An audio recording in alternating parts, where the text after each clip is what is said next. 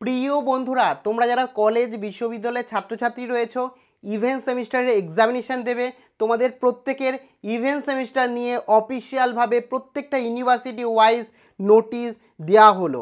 প্রত্যেকটা ইউনিভার্সিটির জন্যই ঘোষণা করা হলো।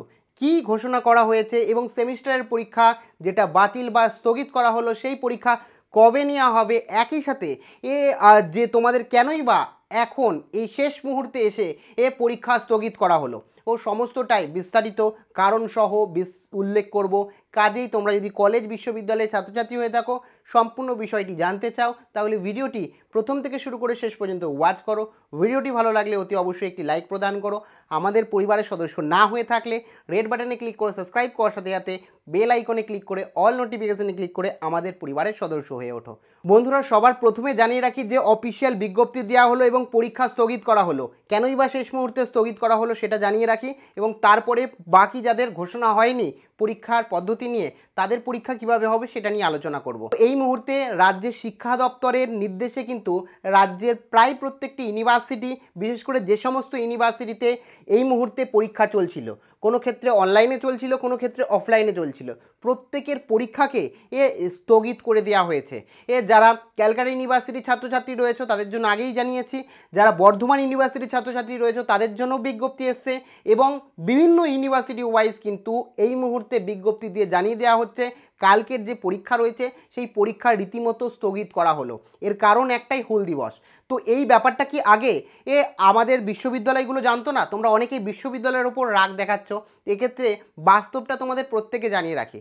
আগে আমাদের রাজ্য সরকার এই যে হুল দিবসের ছুটি, সেটা শুধুমাত্র সংখ্যালঘু ভাই বোনদের জন্যই দিত। শুধুমাত্র যারা সংখ্যালঘু ভাই বোন ছাত্র ভাই বোনরা রয়েছে বা সংখ্যালঘু সম্প্রদায়ের যে ছাত্রছাত্রীরা রয়েছে তাদের জন্যই এই ছুটিটা লাগু ছিল। সেরকমভাবে অফিসিয়ালভাবে প্রত্যেকের ছুটি কিন্তু হুল দিবসে ঘোষণা ছিল না। কিন্তু এই মুহূর্তে রাজ্য সরকার আর শুধুমাত্র সংখ্যালঘু ছাত্রছাত্রীদের জন্য ও ছুটি ঘোষণা করল না, স্কুল, কলেজের প্রত্যেকটি ছাত্রছাত্রীর জন্য কিন্তু এই হুল দিবস উপলক্ষে ছুটির ঘোষণা করল। সেই কারণেই এই তৎক্ষণাৎ আজকেই মানে একদিন আগে, এই প্রত্যেকটি ইউনিভার্সিটিতে যে পরীক্ষা নেওয়ার কথা ছিল, যেটা অনলাইনে হোক কিংবা অফলাইনে হোক প্রত্যেকের পরীক্ষা কিন্তু এই মুহূর্তে স্থগিত করে দেওয়া হলো। যেমন ক্যালকাটা ইউনিভার্সিটির যে পরীক্ষা ছিল, সেই পরীক্ষা অর্থাৎ তিরিশ তারিখের যে পরীক্ষাটা, সেটা আগস্ট মাসের চার তারিখে হবে। বর্ধমান ইউনিভার্সিটি জানিয়ে দিয়েছে, কালকের যে পরীক্ষা রয়েছে অনলাইনে সেই পরীক্ষা স্থগিত করে দেওয়া হয়েছে এবং সেই পরীক্ষা হবে অ্যাকচুয়ালি পরবর্তীকালে। কবে হবে সেটা এখনও ঘোষণা করেনি।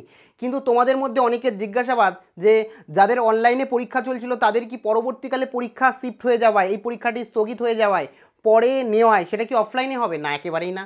তোমরা যাদের বর্ধমান ইউনিভার্সিটির ছাত্রছাত্রী আছো, তোমাদের কিন্তু অনলাইনে এক্সামিনেশান হবে। কোনো রকম চিন্তা করার কারণ নেই। এছাড়াও তোমাদের অনেক ছাত্রছাত্রীর জিজ্ঞাসাবাদ রয়েছে যে, আমাদের সম্পূর্ণ পরীক্ষায় কি স্থগিত হয়েছে? না, একেবারেই না।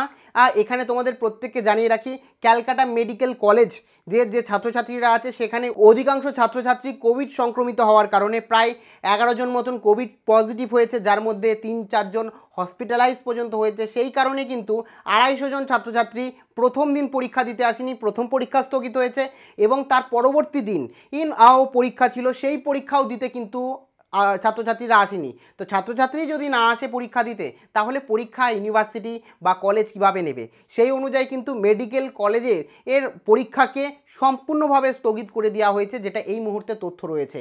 এ, এবং তাদের পরবর্তীকালে কি সিস্টেমে কীভাবে পরীক্ষা নেওয়া হবে, সেটা জানিয়ে দেওয়া হবে। তোমরা যারা আর রীতিমতো ডিগ্রি কলেজের ছাত্রছাত্রী রয়েছো, ও ক্যালকাটা ইউনিভার্সিটির আন্ডারে কিংবা অন্যান্য ইউনিভার্সিটির যারা ছাত্রছাত্রী রয়েছে, তোমাদের কালকের যে পরীক্ষাটা আছে সেটাই স্থগিত হয়েছে। পরবর্তী পরীক্ষাগুলো কিন্তু যেরকম হচ্ছে সেরকমভাবেই হবে। এরপরে তোমরা কিছু ছাত্রছাত্রী রয়েছে, যারা স্টেট ইউনিভার্সিটির ছাত্রছাত্রী রয়েছে একটি স্টুডেন্ট জিজ্ঞাসা করছিল, আমি সেকেন্ড ইয়ারে পড়ি, ই, আমার ফোর্থ সেমিস্টার এক্সামিনেশন রয়েছে, আমার অ্যাকচুয়ালি পরীক্ষা কীভাবে হবে? দেখো, আমি তোমাদের প্রত্যেকে জানিয়ে রাখি স্টেট ইউনিভার্সিটির তরফ থেকে যেটা এই মুহূর্তে ইউজির ইনফরমেশন রয়েছে, সেই অনুযায়ী তোমাদের অনলাইনেই হতে চলেছে।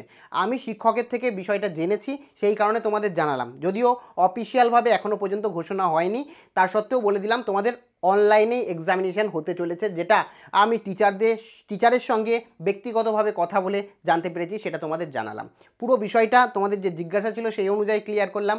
এখনও যদি কোনো জিজ্ঞাসাবাদ থেকে থাকে, তাহলে অবশ্যই তোমরা কমেন্ট সেকশানে কমেন্ট করতে পারো। একই সাথে তোমাদের যে পরীক্ষা অ্যাকচুয়ালি হয়েছে, সেই পরীক্ষা কেমন হয়েছে, অবশ্যই তুমি কমেন্ট সেকশানে কমেন্ট করে একেবারে জানাতে ভুলো না।